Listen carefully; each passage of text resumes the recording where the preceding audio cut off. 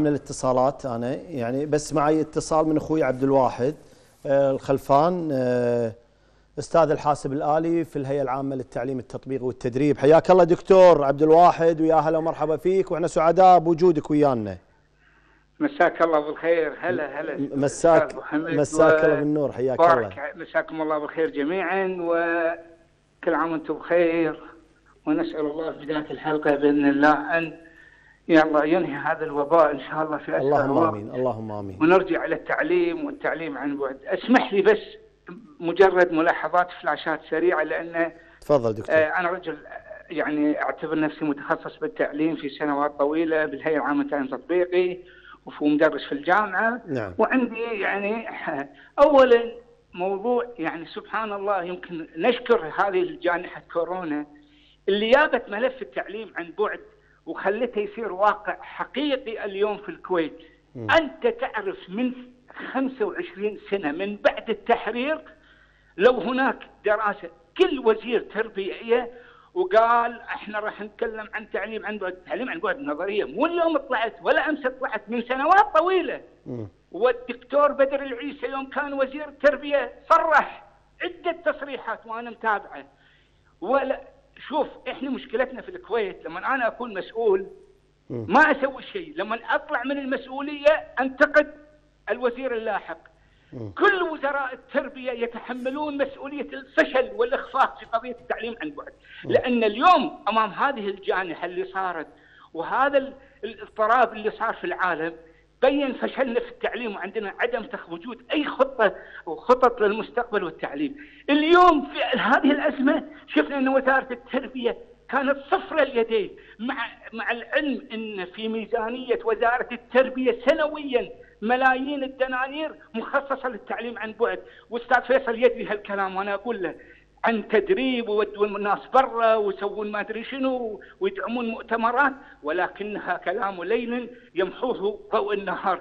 ماكو أي تعليم عن سوى قناة تعليمية يوم من الأيام يا وزير تربية سوى لي المناهج على فلاش وحط يوم يا وزير تربية أجر لابتوبات ب 30 مليون دينار وبعدين تكسرت وبعدين لعبوا بالميزانيات واليوم ني نتكلم إنه والله طبعا وزارة التربية مو مستعدة هذا اولا. أنا ما أقدر أوسع لأن أدري الوقت. ثانيا الدكتور فايز يقول وزير التربية مو مستعد يطلع يقول خططه. هذا الكلام غير صحيح. يا دكتور فايز التعليم مثل الصحة.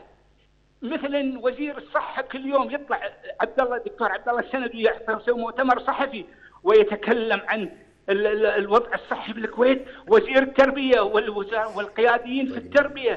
والجامعة والهيئة العامة لازم يطلعون ويطلعون عنده. عنده الناطق الرسمي لحظة، لحظة، فيصل. مقصيد. دكتور. عبد الواحد لو عنده. عنده فيصل مقصيد اعطيك خليك. والله خليك تكمل والله خليك تكمل بس. الله يخليك. بس عنده الدكتور عنده عنده- فيصل مقصيد أبو محمد هو ونعم. الناطق الرسمي هو الناطق الرسمي أعرفه إيه محمد صديق واخو عزيز. أنا لا أتكلم عنه كلام بعد هو الناطق الرسمي شو ما تكلم عنه؟ تكلمت عن عبد الله السند الناطق لا، لا، لا، الرسمي. لا لا أنا. قاعد اشي أقول لا تقول لي ما لحد اليوم ولا واحد في الكويت يعرف شنو خطه وزارة التربية في شهرنا. تقول لي أكو مدارس أنا أقول لك أنا أتحمل مسؤولية كلمتي. ما راح ترجع الناس طلبة حق المدارس.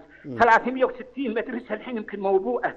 كلها عمال وعماله ومكسورة ومعفسه وما أدري شنو. قال لك لحد الآن 48 اللي تم استخدامها لا، بالإضافة لا، لا، لا، لبعضها في الجمعيات. البعض الآخر زين، للجمعيات 360 تقول لي تعليم زين الحين كل وزارة التربية لحد الحين لحد لحد أمس وزارة التربية ضايعة وليست لديها خطة، يا أخي عندنا كلية تكنولوجيا التعليم في التعليم التطبيقي إيه. في في أحسن الدكاترة في منهج التعليم. يبوهم مو عيب الاستعانة فيهم.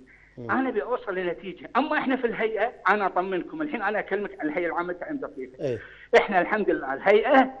بدينا في خطوات متسارعة، طبعا أنا عندي كلمة حق دكتور فايز. أنا يتكلم عن جامعة الكويت، جامعة الكويت يا دكتور من 2000 سنة 2000 فيها إدارة اسمها التعليم عن بعد. أفشل إدارة. ما حققت ولا شيء. خلال هالسنوات كلها وأعطيك أعطيك الدليل على كلامي. اليوم جمعية أعضاء هيئة التدريس في جامعة الكويت اعترضوا على التعليم عن بعد لوجود قانون قوانين مقيدة للحريات في الكويت. قانون الإعلام المرئي والمسموع. وانت دكتور قانون تفهم. وقانون الجرائم الإلكترونية. قالت لك كلية الحقوق أنا عندي مادة اسمها قانون المرافعات ما أقدر أحطها على المنصات الإلكترونية لأني أناقش فيها الأحكام القضائية. أنا عندي قسم العلوم السياسية. أنا عندي قسم العلوم okay. الإنسانية. بشكل سريع دكتور عبد الواحد عشان okay. الوقت. إيه. فيعني اليوم كثير من الكليات معترفين أنتم شكلتوا لجنة بالاتفاق مع الجمعية أساس تشوفون الوضع القانوني للتدريس عن بعد من خلال المنصات الإلكترونية. okay. فإذا أكو مشاكل حقيقية أنتم جاهزين في. التطبيقي دكتور عبد إحنا الواحد بالتطبيقي أنا أقول لك بالتطبيقي الحمد لله عندنا منصتين تعليميتين مشهورين MS آه شو اسمه Microsoft Teams وعندنا ال Moodle وركبوا هذه وسووا تكاملية ما بينهم. الآن الأقسام العلمية كلها حطوا المحتوى الإلكتروني بدأنا ببرامج تدريبية okay. حق أعضاء هيئة التدريس okay. بعد العيد راح نبدأ تدريب شا- يعني صراحة يعني كلمتك الأخيرة ما- دكتور عبد الواحد كلمتك الأخيرة يعني شوف موضوع التعليم أنا كنت أتمنى أبو حمد إنك هذا الموضوع ما تعطيه حلقة واحدة تعطيه حاضر. عده حلقات حاضر. أنا وعد. أنا حاضر. عندي كلام عندي كلام اللي قال الأستاذ فيصل عن المدارس الخاصة يناقض كلامه لأن الوزير وقرار مجلس الوزراء كان وقف التعليم على كل شيء بما فيها الجامعات الخاصة وبما فيها.